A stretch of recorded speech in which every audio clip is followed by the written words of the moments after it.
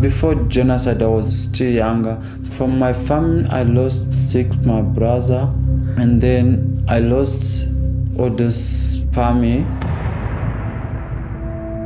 The most devastating circumstances can yield the most powerful forms of hope. During the 1994 genocide, many of the cyclists of Team Rwanda were small children. For 11 years, these young cyclists had lived in the aftermath of one of modern day history's most devastating genocides. You could see how much hope the bike gave them because it was their way out.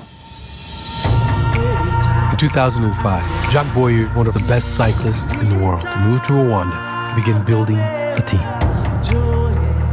After I spent time with the riders, it really started to hit me. They've been through hell.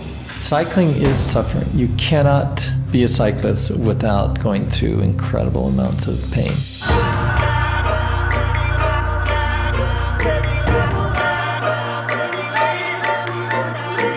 Adrian is our biggest hope. Adrian Niyonshuti became the first cyclist of the original five to ride professionally for one of Africa's top cycling teams. He's going to be a contender.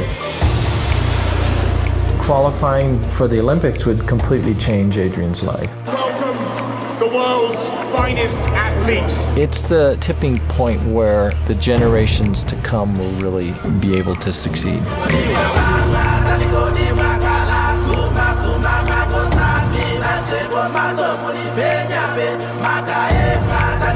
Team Rwanda can give them an image of where they can go.